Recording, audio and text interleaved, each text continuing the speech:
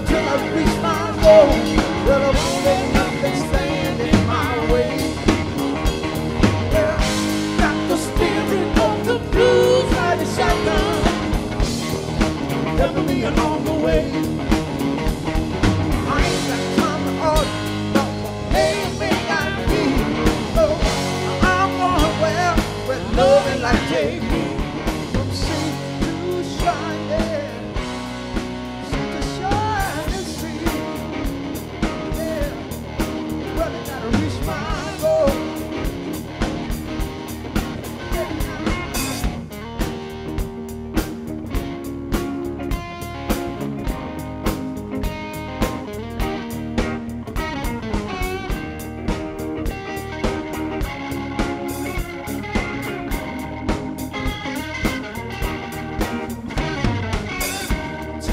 Something you can't buy, steal, or borrow. So I'm living every day like there's no tomorrow. When you come to the crossroads to choose what path to follow, try to choose the one that won't lead to sorrow. I won't stop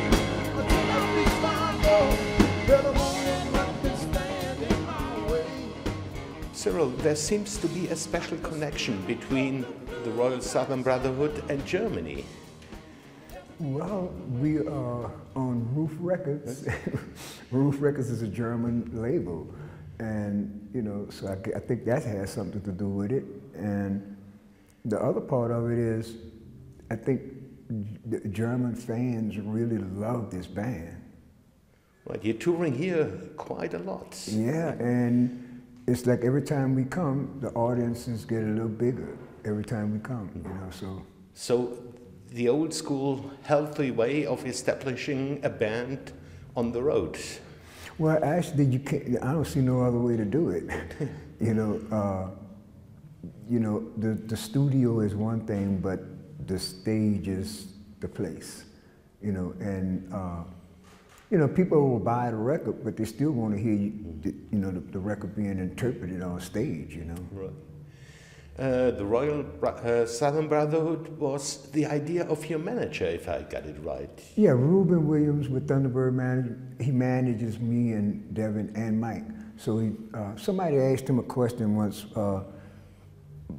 would the, the, Allman, the Allman Brothers and the Neville Brothers never played together, and what would it be like if that happened since Devin was in, the, in his camp? So he thought about it, he said, okay, let's see what happens. And, you know, he put, put it together, and here we are. You had a change. It seems like you're kind of the anchor man of the band. Now you're having uh, Devin left, Mike left. Now you have uh, Tyrone and, and Bart Walker in the band. Yes. How difficult was this change? Well, it was, I guess, for me, nothing is an accident, nothing is a coincidence. Everything is, it happens according to what the universe wants. And obviously, the universe likes this band and wants this band traveling. And uh, so it, it's all about the music and the content of the lyrics and the songs.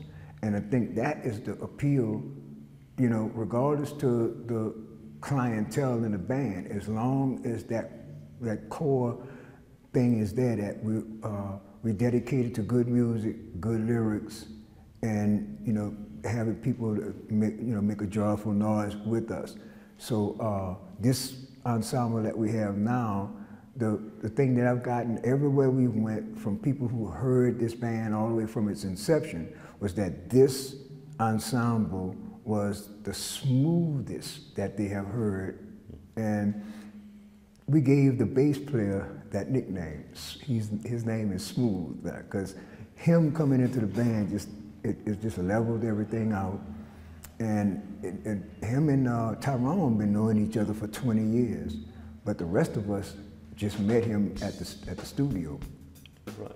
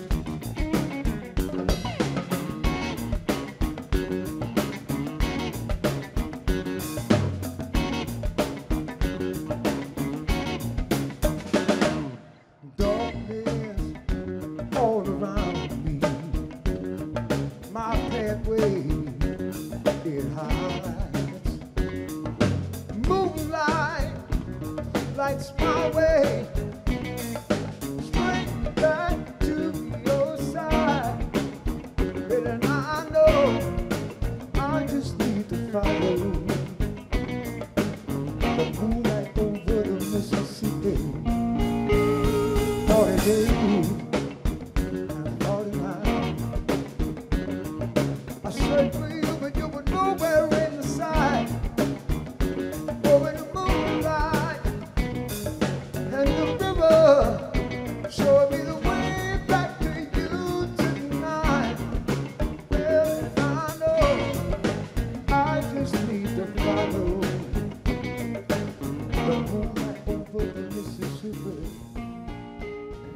you've recorded a new album? Yes, we have a new record coming out in June, and just to to show you what kind of uh, uh, well, we we had seven days to do the record.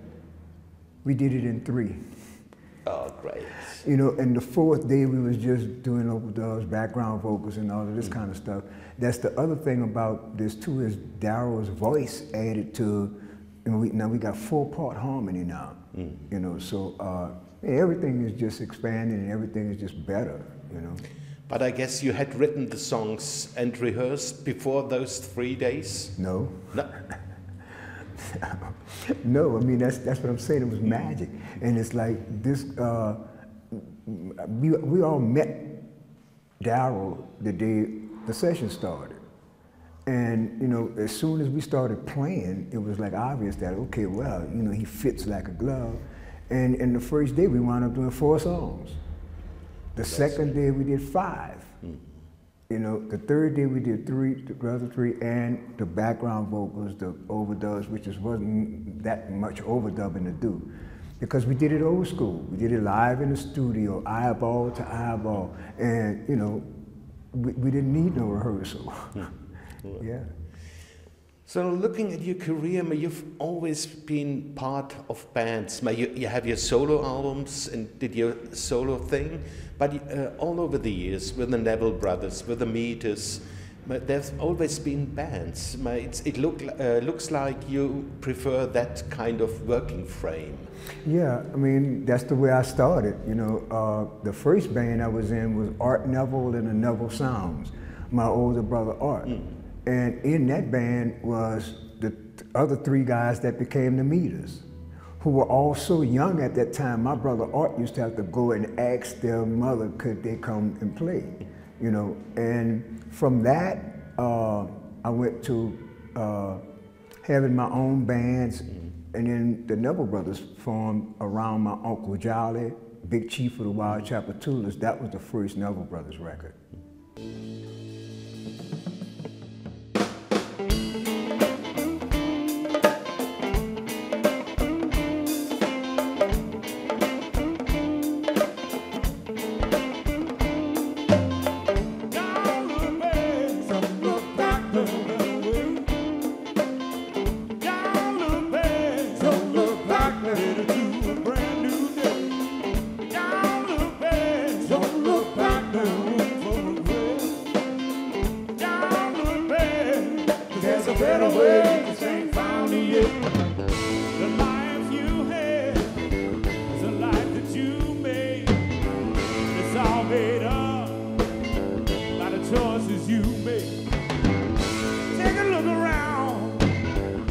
Like what you see?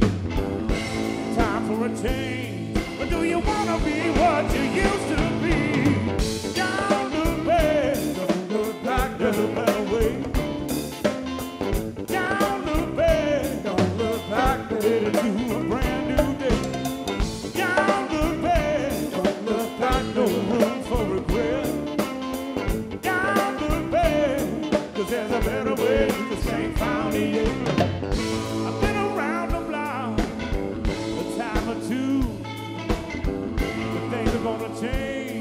Change, we can't do the things that we used to do. You Can you tell me some words about the voice of the wetlands? Oh, well, the Voice of the Wetlands again is Reuben Williams. He put together this festival and this band. You know, he manages Tab Benoit.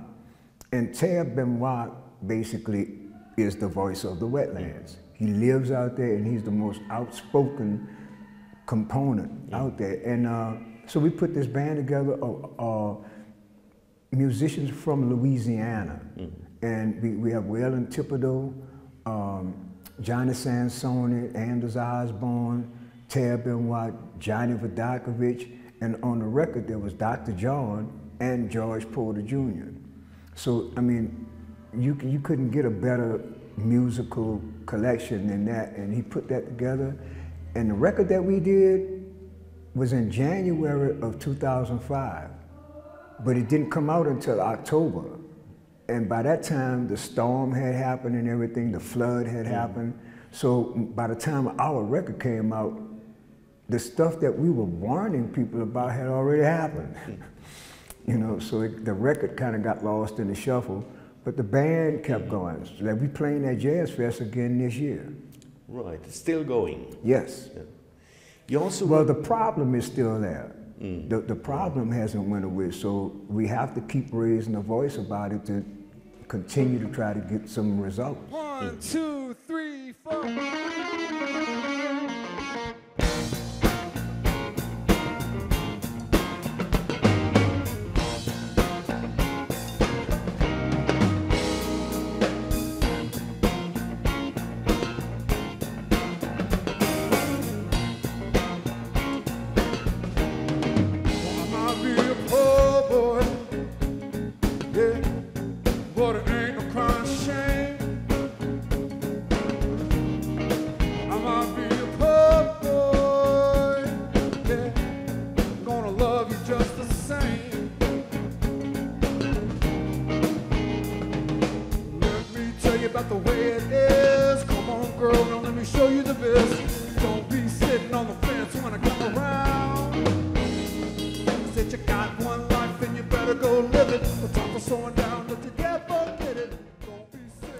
You also did a lot of studio work, uh, playing with Bob Dylan and many other well-known musicians.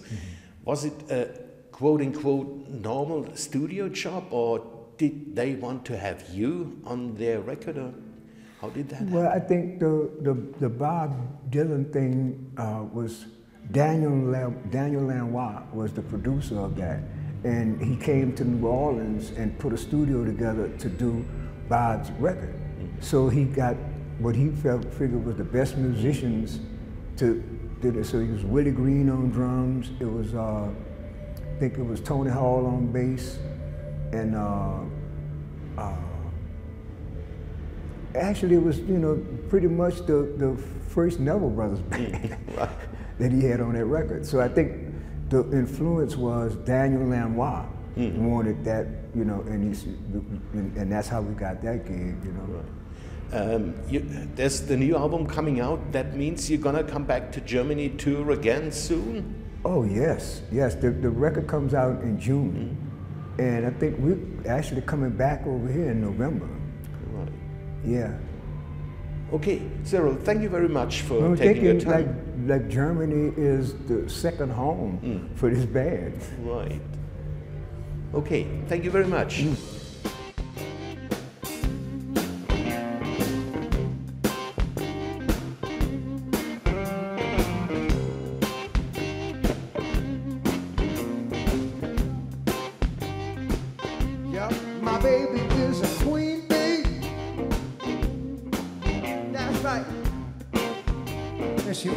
magic honey night and day. All right. My baby is a queen bee. Yeah, now, y'all. She make magic honey night and day. Yeah, Lord. Yes, she do. Now. And when she buzz, come here, little worker bee.